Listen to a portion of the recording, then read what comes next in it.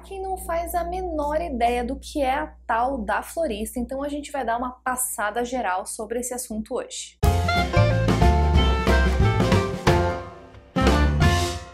Olá pessoas, eu sou a Ruby do blog do casamento.com.br e o tema do vídeo de hoje é o que é uma florista de casamento. Explicando de uma maneira bem simples, as floristas são aquelas daminhas bem fofinhas que carregam cestinhas com pétalas de rosas, cuja função é espalhar essas pétalas pelo caminho até o altar para os noivos passarem por ali. Basicamente é isso. Ah, bom! Há quem diga que as floristas têm um papel bem antigo na história e essa função de espalhar as pétalas de rosas pelo caminho servia para espantar o mal olhado para os noivos no dia da festa. Para quem curte a ideia da florista, mas queria alguma coisa um pouquinho mais moderninha, fora do tradicional, saiba que existe uma variação que é muito legal, onde as floristas entregam raminhos de flores para aqueles convidados que ficam mais próximos ali do corredor. Então, aleatoriamente, você vai entregando essas florzinhas. Porém, vale lembrar que para a florista fazer isso, ela precisa ser um pouquinho mais velha, ou seja, não dá para ser tão criança assim. Como escolher as floristas? Geralmente elas são crianças muito próximas do casal, até porque, gente, para ela poder participar da cerimônia junto com os noivos, ela precisa estar tá muito à vontade e conhecer muito bem os noivos para conseguir assumir confiante esse papel na cerimônia.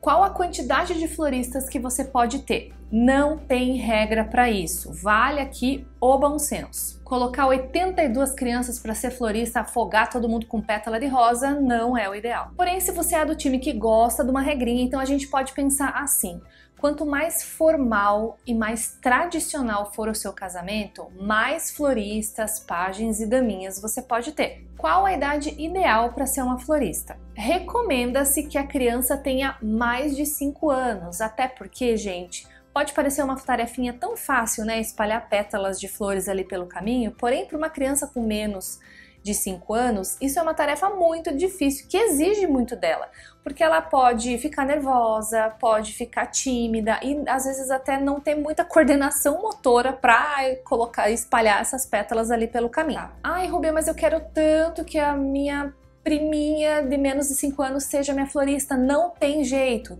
Tem. Nesse caso, você tem que planejar um suporte para ela. Então, você pode, por exemplo, colocar uma daminha mais velha ou um pajem um pouquinho mais velho para ajudar a entrar junto, ou então envolver os pais da criança. Então, a criança entra no colo ou entra num carrinho empurrado por alguém mais velho. Então, dando esse suporte para a criança menor de 5 anos, fica muito mais fácil para ela. Vale lembrar que a florista não precisa necessariamente ser uma criança.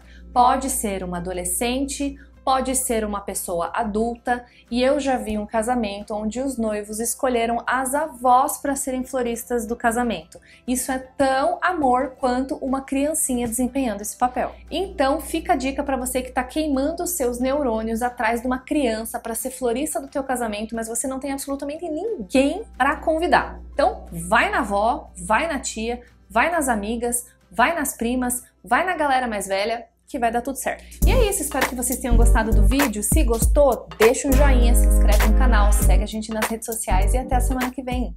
Tchau!